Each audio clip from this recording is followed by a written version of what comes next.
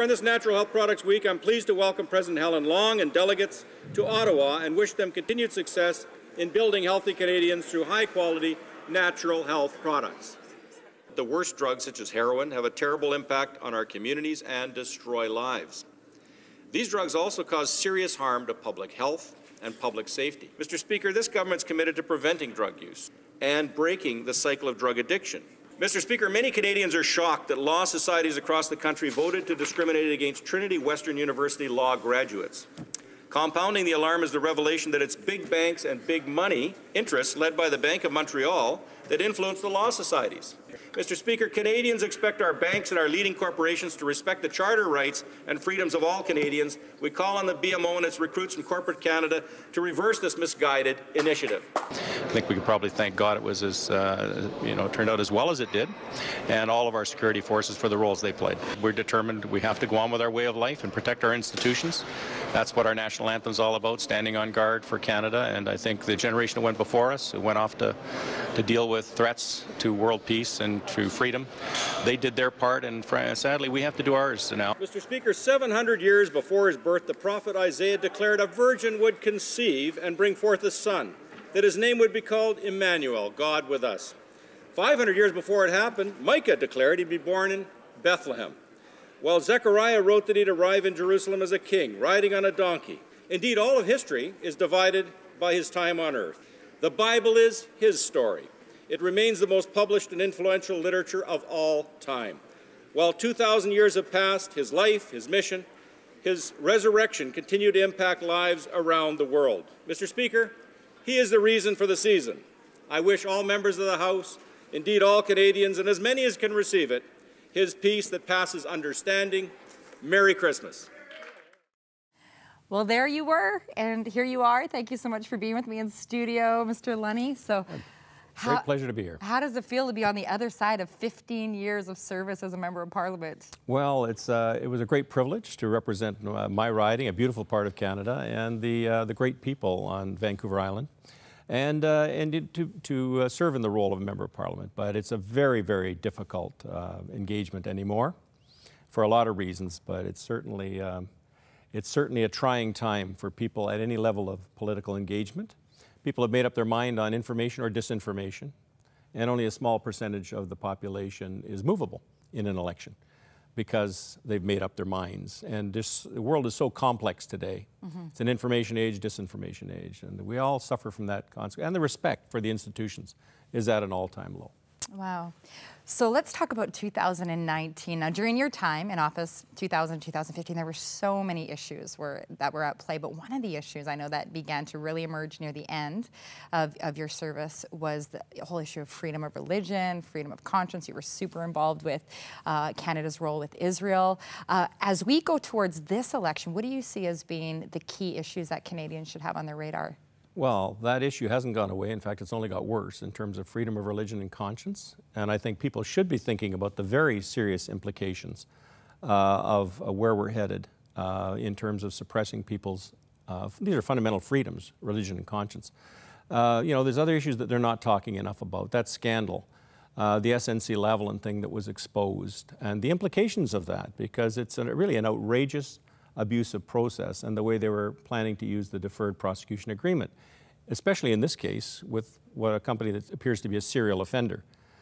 Uh, and there's more can be said about that, obviously. But of course, then, I, then there's uh, the whole state of the world uh, and, and out of control federal spending at a time when there's global instability in the financial markets. And it looks like there's tremendous difficulty on the horizon for the whole world. And Canada is likely very much at risk of getting drawn into a global recession.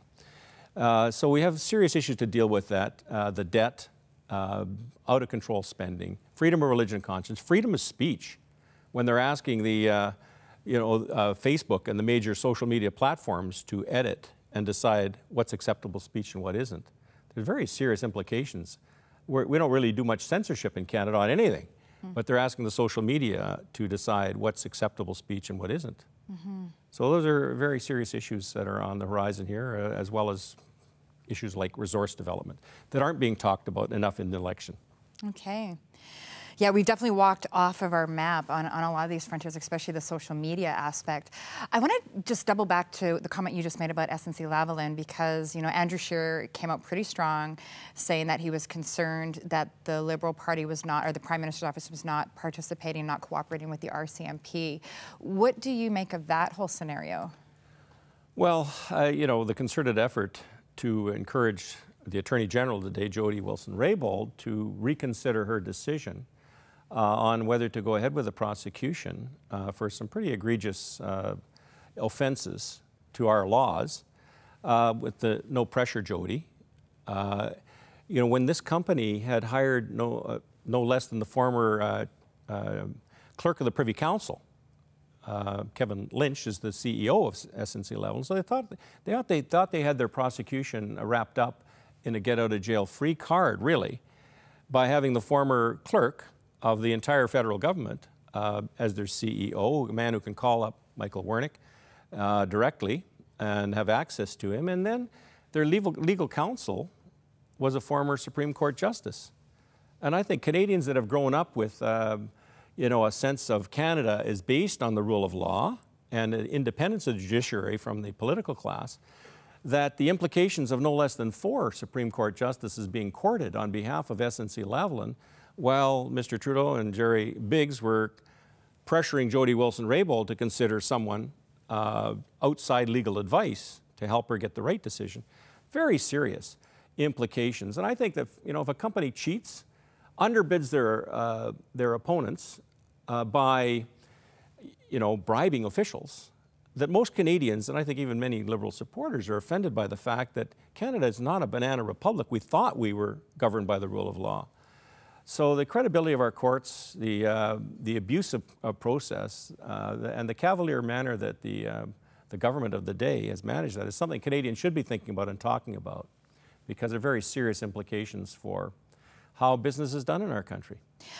Wow, so now let's let's uh, zero in quickly on the, what you said about there about the freedom of conscience, freedom of religion conversation. You know, it really began to boil up during the final years of your service. Uh, the current justice minister came out in, I believe it was in August, and said that they were making it a priority to criminalize something called conversion therapy, and that they would specifically be going after charitable status of churches and ministries. And it, it would sound like criminalizing conversations, even maybe with parents, pastors pastors and children, people that they're interfacing with around areas of uh, the area of sexuality. Do you think this is a real threat, a real thing that could happen where they would go after charitable status? Well, it's astounding, and there are parliamentarians around the world concerned about this type of dynamic. But Canada is, uh, it's unbelievable the acceleration of repression of religious belief and, and faith. Uh, with starting with doctors who are, don't want to participate in uh, abortion or referring for abortion or for, for uh, conscience matters uh, like death, uh, being told perhaps they shouldn't be a family physician. That's the Ontario College of Physicians and Surgeons implying. That would be an outrageous uh, offense. And then lawyers actually deciding that a graduate from a law, a law school that's approved by a province, a small Christian law school with 55 graduates, just tell them they can't practice in your province. Mm -hmm. That's an outrageous uh, attack on, on, uh, on the rights of, of, of people because they graduate from a, a, law school with a Christian basis. So, uh, you know, when you're talking now about parental rights and, and what's good for your own child, to be shut out from a debate on, on what's good for your own child when they're confused about very complex issues about their sexuality, for example, and then for the legislation to come in that would legal, uh, you know, make it illegal to even talk to people going through a crisis of identity in their future, even from legitimate psychologists or counselors, it would basically, uh, or from a Christian perspective, uh, basically make the Bible illegal mm -hmm. wow. if we follow that, uh, that course. Mm -hmm. And I think this, the implications are outrageous. Wow. And uh, I know with several issues on the social frontiers, there have been different things that have happened that people said would never happen. I know even in my short time of tracking these things. And so it's definitely a time to be awake and alert. So we're going to go to a break here in a moment. But after that, I want to talk about what people can do practically in the last few days that we have here uh, to make a difference and whether or not people can actually make a difference. Does one vo voice, one vote, one person make a difference? So we're going to talk about that right after this.